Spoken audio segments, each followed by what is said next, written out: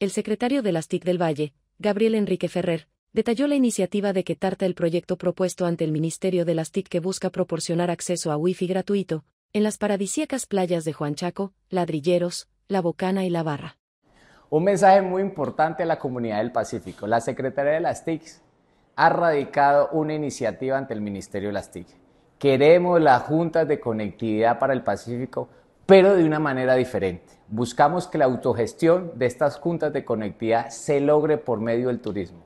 Esperamos que el turista que llegue a nuestras playas del Pacífico pueda comprar un ticket de acceso prioritario y con ese dinero financiaremos el ancho de banda que le va a entregar internet gratuito a todas nuestras comunidades del Pacífico.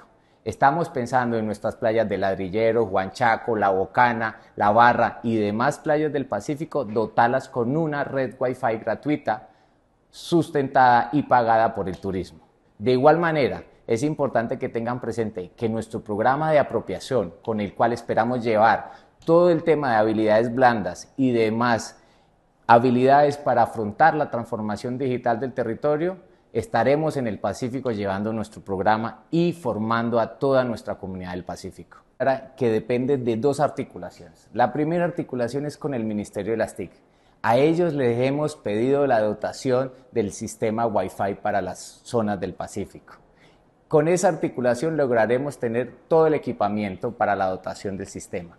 La segunda articulación es con ustedes, bonaverenses y articuladores de todo el turismo del Pacífico. Con ustedes queremos dotarlos de un software que pondrá la gobernación del Valle del Cauca, que les permitirá a ustedes generar los tickets de acceso, para el cual le van a cobrar al turista que requiera una conexión de altas descargas. Con ese dinero, ustedes, comunidad del Pacífico, pagarán su ancho de banda que les permitirá generar una red Wi-Fi gratuita a todos los bonaverenses del Pacífico que vivan en estas islas y que finalmente requieran una conexión gratuita. Esperamos que esta iniciativa cambie transversalmente este programa de juntas de acceso comunitario. Con esto y con la apropiación que le llevaremos al Pacífico, contribuiremos a la transformación digital de nuestro territorio.